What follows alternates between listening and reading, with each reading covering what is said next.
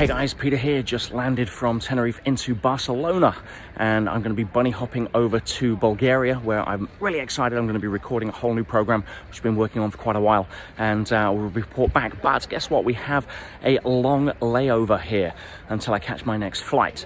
And so what do you do on long layovers? Well, I've got something exciting lined up and this will uh, lead into a story that I'll tell you about after my next little part of the video. Catch you shortly.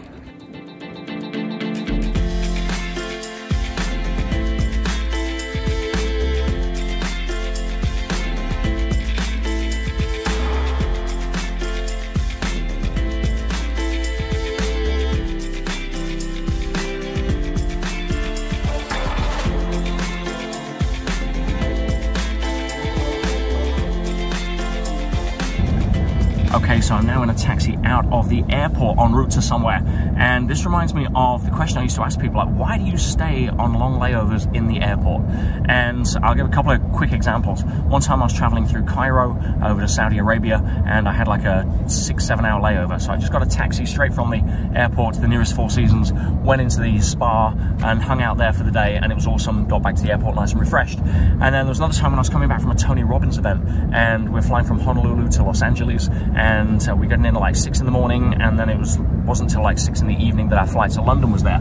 So I said to the guys what are you doing? He says oh well we're hanging in the airport for 12 hours. Like you I'm like yeah hired a car put a bunch of us in a car drove to Beverly Hills yeah had a great blast yeah toured Hollywood came back. So again it's just questioning you know why do you need to do things just because that's what everybody else does? So anyway I thought I've got a layover in Barcelona. I know exactly where I'm going. Stay tuned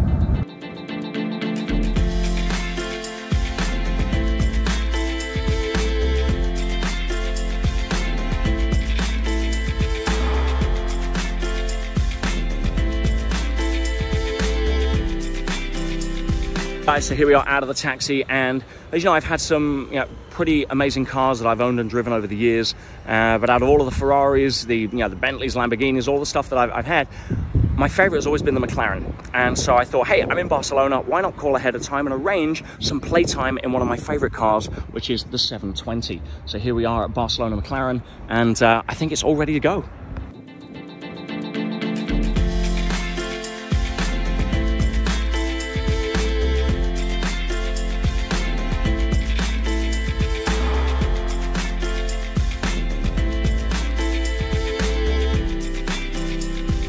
Hey guys, just here in the basement for the uh, owner's private collection. We've got some Chelsea cars here, some of the old classics, as you can see on there. Absolute history in the making. For those of you that aren't petrol heads, you probably don't get it, but yeah, the stuff here that is just like of, you know, made of legends and uh, really excited. So anyway, time to go upstairs and uh, jump in the driving seat.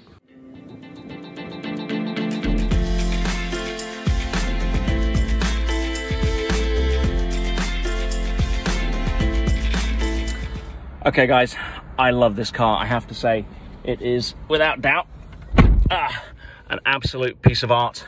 Uh, one of my favorite things on four wheels. So let's go play.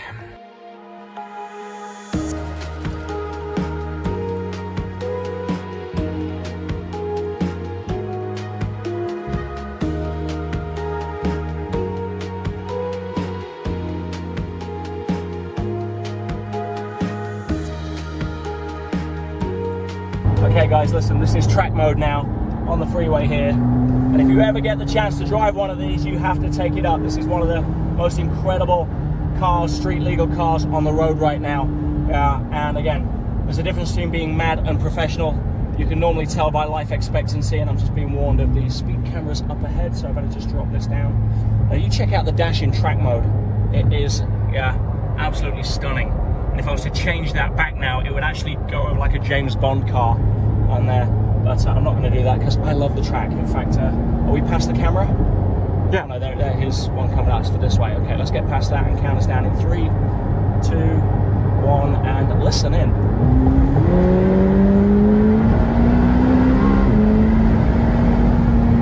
Oh, that rocks.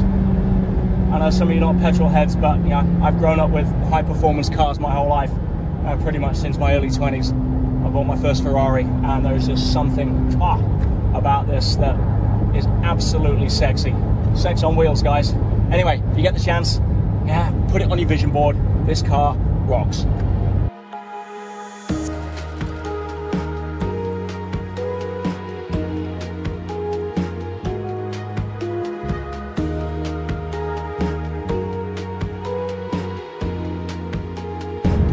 Hey guys, Pete back again in the cab on the way back to the airport and doesn't that just break up the monotony of an extended layover? And the key here thing guys is that, yeah, don't let anybody tell you you can't do it or create the life you want. So many people just follow what they follow because that's what they did before, that's what everybody else is doing, right? You're the star of your own movie. Don't be a film extra in somebody else's. You want to go test drive the car of your dreams, go do it, or take a picture or put it on your vision board or go smell the leather, right? Make it real for you. Get excited, get the emotions involved. If you want to go and yeah, ask somebody out you've been wanting to ask out and you're afraid of rejection, go swing the bat. What's the worst that they can do? Say no. So what, right? Yeah, if you want to go take a mentor out for lunch that you've been afraid to approach, go do it. My point being here, guys, is that what stops people from living their dreams, from driving their dreams, from doing whatever it is that they want to do that serves them as the star of their movie is usually the story they tell themselves about why they can't do it. Right? Your brain will come up with the excuses to justify your fears being great and embracing your greatness is about letting go of that and saying, you know something, what's the worst can happen, right? They say no, right? Yeah, they reject me. So what? They're not rejecting me, they're rejecting my request. There's a huge difference here, guys. So, you know, I just want to say, I love you. Thanks for being along for the ride today. It was a lot of fun. And uh, yeah, go, go swing the bat. Go get excited. If you're in lockdown right now, stop moaning about being in lockdown start getting excited about planning what you're going to do when you get out of lockdown. Right? It's remember, your brain is there to make excuses to justify your current emotional state to be in line with your behavior. Don't listen to it. Override that. Yeah, ignore what's going in the outer world and start focusing on what you want to create in the outer world. If you don't like what's in your life right now, you're complaining at the fruit on the tree. Right? Well, if you're complaining at pears on a pear tree, it's because the, you, know, you planted pear seeds. Right? If you want apples, don't start moaning at the pears, start planting apple seeds. Now, the outer world is the fruit on the vine that's already been planted before. Don't pay very much attention if it's not what you want. Just focus on planning what you need, and you'll be driving whatever you want to drive at some point soon, too. I have absolutely no doubt.